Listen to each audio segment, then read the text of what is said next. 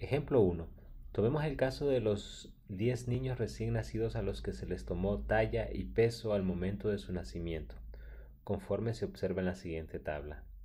Asuma que la talla es la variable independiente y que el peso es la variable dependiente. Inciso A. El coeficiente de Pearson para este arreglo es R igual a 0.9442. ¿Es apropiado construir una recta de regresión para estos datos? Por supuesto que sí. Como el valor absoluto de R es 0.9442 y está entre 0.7 y 1, podemos decir que la correlación entre las variables es fuerte, por lo cual es apropiado construir una recta de regresión. Inciso B. Determinar la ecuación de la recta de regresión. Para eso usaremos la calculadora en modo de regresión, vamos a introducir los datos y así obtener las sumatorias.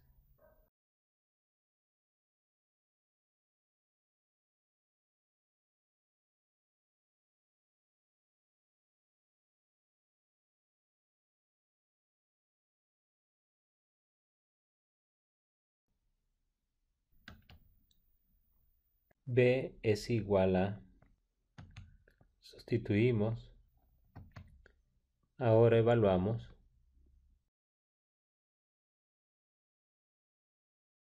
y el resultado es 0.348108. A es igual a, sustituimos, ahora evaluamos, y el resultado es negativo 13.535535.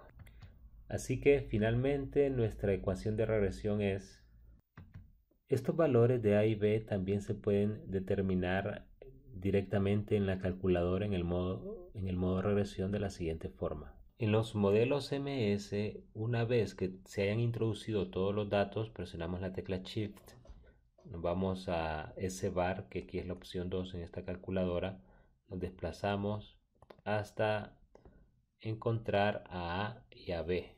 A es la opción 1, igual, noten, es lo mismo, negativo punto negativo 13.5355 y B es shift, otra vez ese bar, nos desplazamos, opción 2,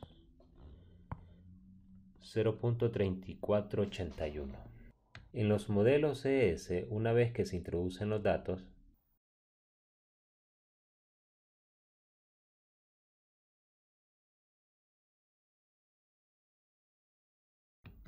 nos salimos de la tabla presionando la tecla C, luego Shift, opción tecla 1, nos vamos a regresión, luego A, que es la opción 1, igual, negativo 13.5355.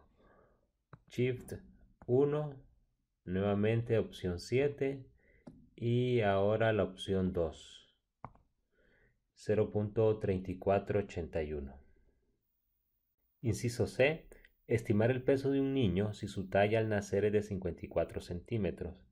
En este caso, pues nos dan el valor de X, que es 54 entonces y va a ser igual a, sustituimos, y esto es igual a 5.26 kilogramos. Inciso D. Estime la talla de un recién nacido que pesó 5 kilogramos. En este caso tenemos el valor de Y. Y ahora pues sustituimos en la ecuación y despejamos para X y el resultado es igual a